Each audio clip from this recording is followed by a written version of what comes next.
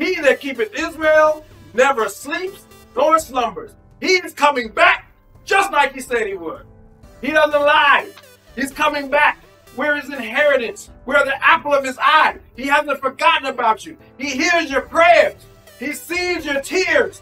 And he's coming back just like he said he would. Woke up in a world that is in turmoil.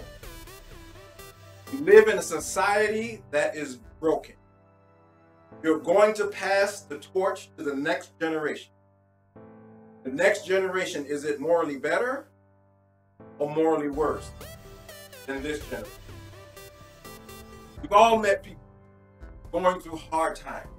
We've all met people that got life worse than us. This month, we're dealing with people that have been hurt by the church. The mental anguish that people are facing today is unbearable. There are people that can't take it no more. They're looking for rest. They can't sleep at night. Their souls are anxious and need rest. People have left the church after being hurt and have begun searching for something to quench their thirst, looking for something to satisfy their itch. Today, people are trying to find a new path, a new path to take to escape the pain of life. But the Lord said, Stand ye in the way and see and ask for the old path, where is the good way, and walk therein, and ye shall find rest for your soul. But they said, No, we're not doing it. We're not doing that no more. I don't need to go to church. I don't want that restrictive God. I want something new. You woke up today in a world that is broken. Is the next generation going to be morally better or worse than this generation? Right now, we're facing bad times. Right now, we're currently watching biblical prophecies being fulfilled right before our eyes. You know what it means when the river Euphrates dries up. Meanwhile, God's people are running the new doctrine. The Bible said this would happen. Isaiah 30, 21, and thy ears shall hear a word behind me, saying, This is the way, walk ye in it. When you turn to the right hand, and when you turn to the left, all over the internet, that's behind you. All over social media, that's on your right. From your friends you meet on the left, you're hearing more and more about newfound spiritual doctrine that's coming up. But the Bible sends a warning. Look how merciful God is. He warned us by saying, Woe to the rebellious children, said the Lord, that take counsel but not of me. The question I have is where do you get your counsel? What is your foundational source? It says, and that cover with the covering, but not of my spirit. Whatever you're getting involved in, is that the spirit of God? The Bible says that's how you add sin to sin. Some people have begun to trust in their own moral who gets to determine morality? I'm here on assignment to, contrast morality with salvation. The nature of morality is self righteousness. You, within your own self, think this or that is right. You determine within your lifespan what you deem is right. Somebody said everybody lies, as if it's no big deal. Maybe with your morality it ain't, but the Bible says all liars. Black lies, white lies, big lie, little liar. They all have their part in the lake of fire. Where does that person that think a lie is no big deal based on morality, where does that person have it written?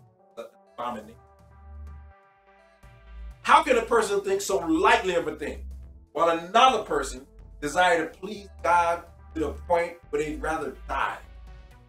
And the Bible says, whatsoever you do, in word or deed, do it all in the name of the Lord Jesus, giving thanks to Him, giving thanks to God and the Father by Him. So you tell me how you're going to lie in Jesus. Somebody said I could cheat on my girlfriend, but I'm not married to her. That's his morality. But the girlfriend's morality. See a problem here? The scripture, the Bible, speaks clearly about the day where all fornicators will be judged. The problem with morality is it was born with you and it's going to die with you. During your own lifetime, You can't hold your own morality to a high enough standard to comply without consequences. Okay, let me what I mean. If you decide I'm never going to steal, if your morality says stealing is wrong, and you go and steal something, and you don't get caught, what punishment did you reserve for yourself? If you decide I'm not going to cuss anymore, what are you going to do if you slip up? What's wrong with the words of God? It's something that you don't like it. There's something in the word of God that conflicts with your morality. No society can exist. No culture can prevail. No family can live in tranquility if you break 10 of the 10 commandments. That's a fact. Would you even want to live in a society where there's no penalty for thieves?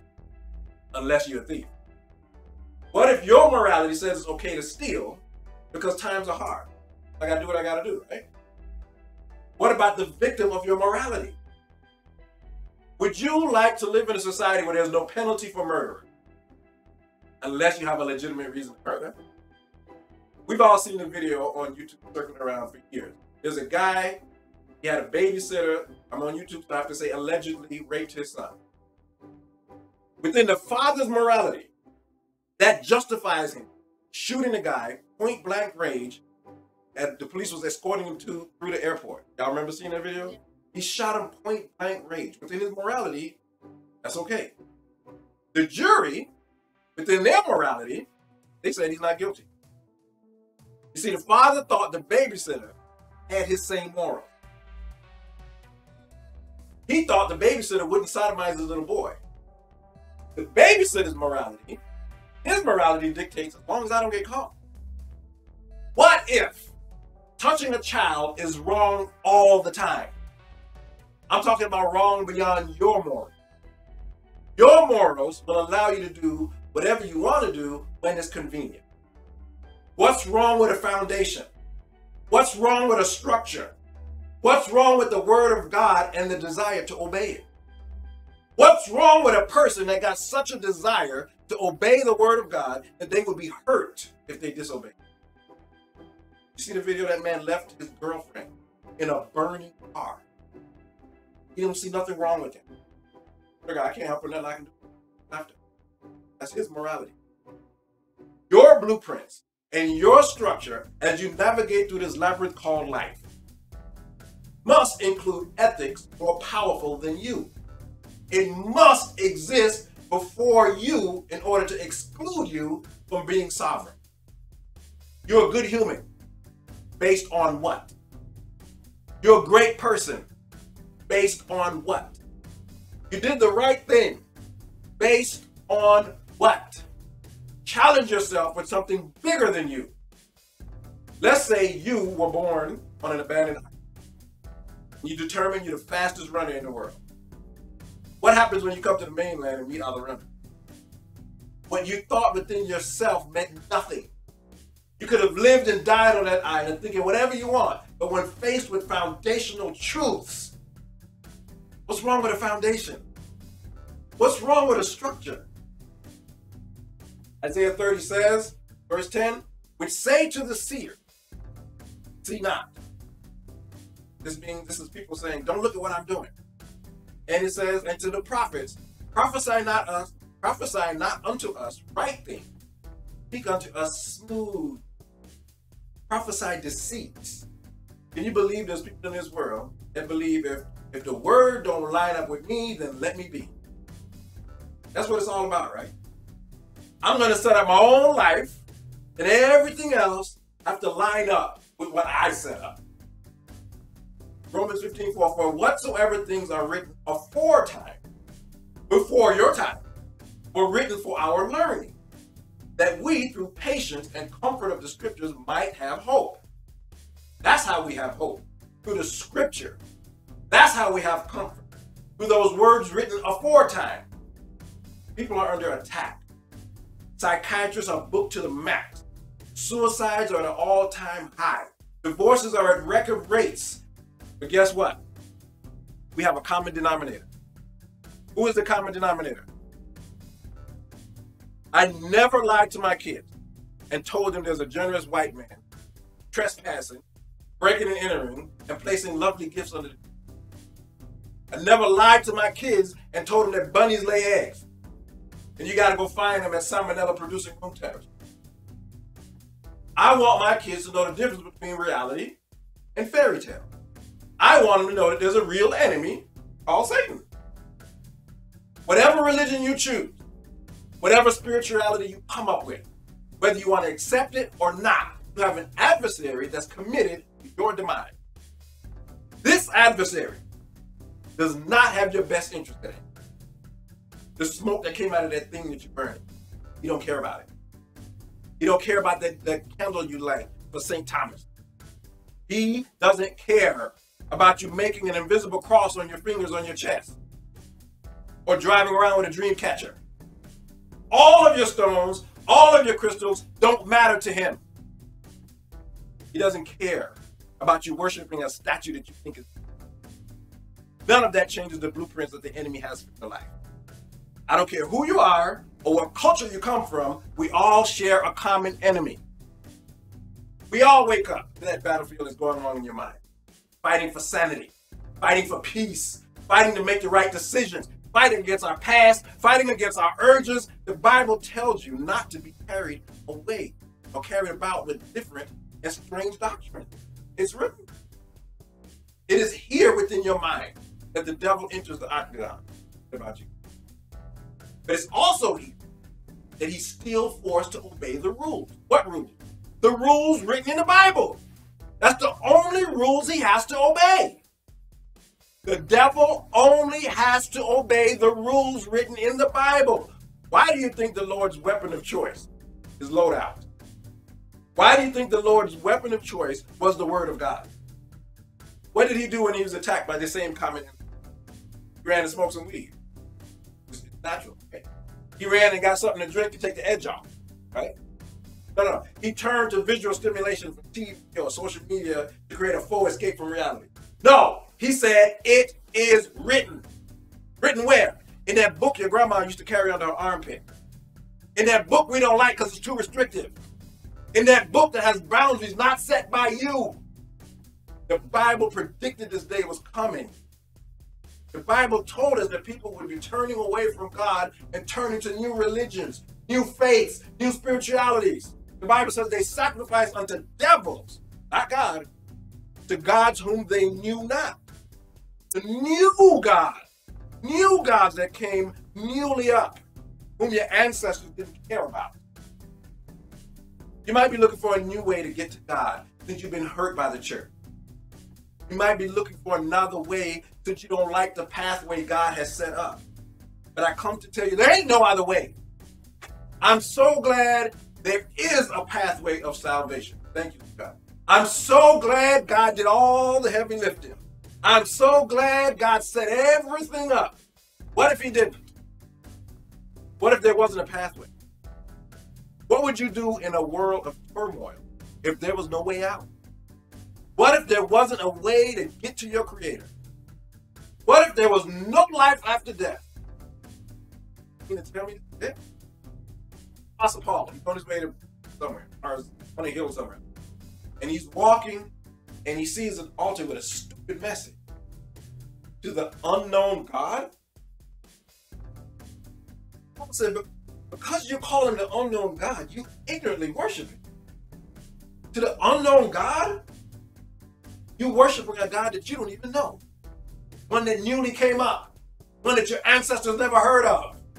Today, I want you to know who God is. Not the God of your pastor, not the God of your parents. I want you to meet him for yourself in this lifetime. I don't want you to tell me about what you heard about him. I want you to hear him and tell me about him. Say that again. I don't want you to tell me what you heard about God. I want you to hear from God and then tell me about it. This is a God that'll talk back to you. Talk back to you? Yes, he will. He'll walk with you, he'll protect you, he'll bless you, he'll give you what you don't deserve, and he'll forgive you. You know how easy it is to get forgiveness from God? You start by asking Him. This God we serve is a forgiving God. Oh, yes, He is. He has power to forgive you that you ain't seen. He'll let you slide. He'll sleep it under the rug. He'll forget all about it. He's faithful and he'll never bring it up again.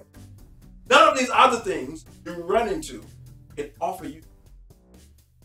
You're missing out if you leave this place without being forgiven. Just talk to him. Why is it so hard to say I'm sorry? Why is it so hard for humans to say I'm sorry?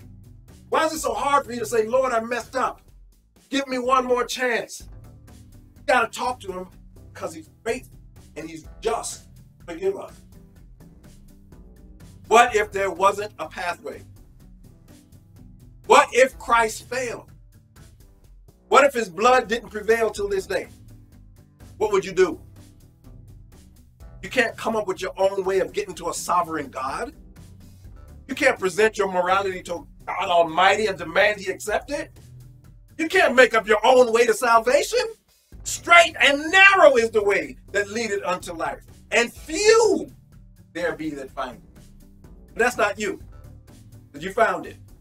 Jesus is the truth. Jesus is the way. The word of God is the way. Stay on this way. If you got off the pathway, get back on it. Don't turn back. Don't vacillate. Don't accept a new doctrine. Know your God. Know your God. Don't wait any longer. Don't wait any longer. Because there is good news in this. There's hope in this. There's guarantees at the end. What's at the end? I'm so glad you asked. Jesus. Jesus is at the end. He is the beginning and the end. He is the Alpha and Omega. Jesus. Jesus is the first and the last. Follow Jesus. Come back to Jesus. That's why he says, seek the Lord and his strength. Seek his face. How long? Forevermore. Not heaven. Don't let heaven be your goal. Crave God. Crave being in his glory. Crave hearing his voice. Develop a strong desire to be wrapped in his arms. Pick me up, Jesus, and hold me close. Hallelujah. Then the Bible says, He'll wipe the tears from your eyes. Tears of sorrow, gone. Tears of heartache, gone. Tears of pain, sickness, it will all be over. No more deaths, no more funerals. This world is full of disease. But over there, it'll all be over. You'll get a brand new body. Who wouldn't serve a God like that? Hallelujah. This pathway leads you to a place where there's no more bills. The stuff you consume with now, you won't, you won't be overwhelmed with that anymore. Have you accepted this plan of salvation? This one. The one that lines up with the Bible. Are you on the beaten path that lines up with the Bible? Well, I got news for you. He that keepeth Israel never sleeps nor slumbers. He is coming back just like he said he would. He doesn't lie. He's coming back. We're his inheritance. We're the apple of his eye. He hasn't forgotten about you. He hears your prayers. He sees your tears. And he's coming back just like he said he would. Why is he coming back? So you can worship him in person. So you can tell him to his face, Lord, I love you.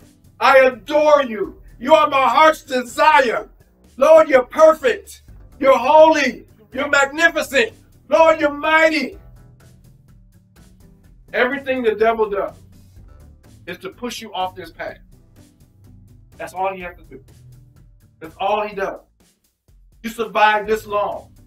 Hold on a little while longer. God will show up and deliver. He's coming back. Don't get distracted by stupid stuff. Come back to Jesus. He said you're welcome to come back to him. He said you're welcome to come back to the God that you know. The God that you know the God that's real. Hallelujah. I'm so glad I took this pathway some years ago. I'm so glad one Saturday morning my soul told God yes. I'm so glad the real God heard me. If I don't wake up in the morning, everything is going to be all right. If you don't see me no more, it's all right. God got me faded. If I end up in that cruel grave, it's all right. Because I know who God is and I serve him and I worship him. I'm not running to any new found doctrine. The Kemetic community. I'm not I don't care about burning sage. I'm trying to worship Jesus. Hallelujah. Thank you, Jesus. Thank you, Jesus. Thank you. Come on back. Come on back. Don't be running to this new stuff. Come on back. I know you got hurt. I know you got a problem with the church. I know you have a lot of reasons, and most of them legitimate. But don't run it off to other stuff. Don't run away from God. Run to God. Thank you, Jesus. Thank you. You woke up in a world that is in turmoil. But there is a plan, there is a pathway to salvation. Thank you.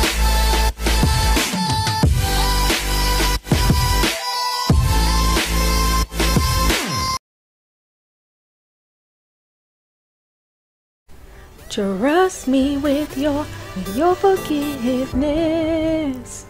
Yeah, yeah.